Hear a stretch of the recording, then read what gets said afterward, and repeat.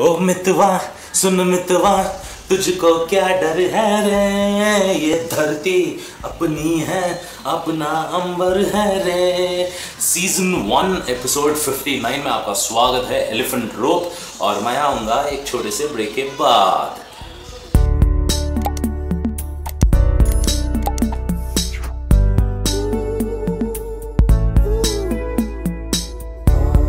ये आज का एपिसोड बहुत इंटरेस्टिंग है। Season one episode 59 elephant rope है। ये आगे एक हाथी के बारे में है। तो शुरू होता है कहानी एक जंगल में। तो उस जंगल में क्या होता है?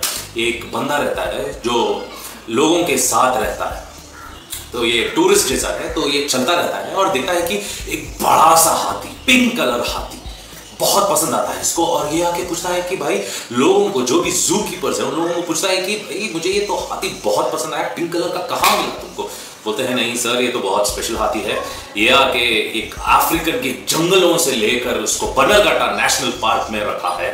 तो ये बोलता है अच्छा हाथी है। बट ये देखता है कि एक रोप रहता है जो इसके पैर से नेल मार के इसको पार्किंग करके रहते हैं। और ये ऑब्ज़र्व करता है कि ये जो हाथी है, ये कभी आराम से, सिर्फ़ पैर को इतना से अभी मूव कर दिया तो आराम से निकल जाएगा। बट वो हाथी नहीं करेगा ये सोच में रखता है। तो ये बंदे को पूछता है, जो भी जू वाले का जू कीपर है, उन लोगों को पूछता है कि ये जो रोप है, ये रह के इतना छोटा है, ये एलिफेंट जो हाथी है, ये क्यों घुसकर नहीं निकल जाता? तो लोग बोलते हैं कि इसको सर जब हम लोग लाए थे एक बच्चे के रूप में, तभी से इस रोप को बाँध कर रस्सी को रख दिए थे। तो ये हाथी जो है पिंकी हाथी का नाम है पिंकी पूरा बचपन आके गुजारा और हमेशा उसको बचपन से वो निकलने की कोशिश कर रहा था। करके। बट नहीं हुआ था उसको। तब से उसके दिमाग में बैठ गया था कि उस रस्सी से वो कभी आगे नहीं बढ़ सकता।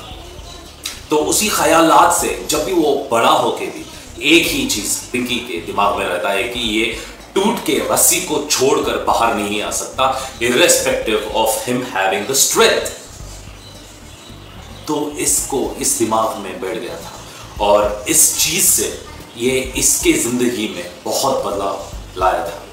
और ये वापस इस कहानी को बहुत गहराई से सोचकर, गहराई से महसूस कर कर वापस घर को गया और जो भी इसके चीज़ थे करने के लिए एक आईएएस ऑफिसर बनना चाहता था तो उसके लिए बहुत दिन रात मेहनत किया और आगे बढ़ा और वो एक बड़ा सा ऑफिसर बना आईएएस ऑफिसर और हर जगह जाके ये एक ही चीज़ बताता था और ये पिंकी जो हाथी है, उस कहानी के बारे में बताता था।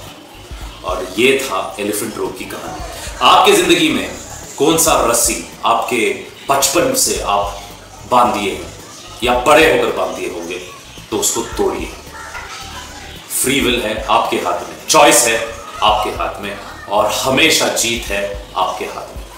हार जीत होती रहेगी, हार मानकर कुछ ना करना, ये आप ही का बहुत बड़ा हार होगा। तो मैं इस कहानी को अंत करता हूँ एलिफेंट रोप का। और मेरे ज़िंदगी में जो भी रस्सियाँ हैं, जो मुझे बाँध कर रखी उन जंजीरों को तोड़ के आगे बढ़ूँगा।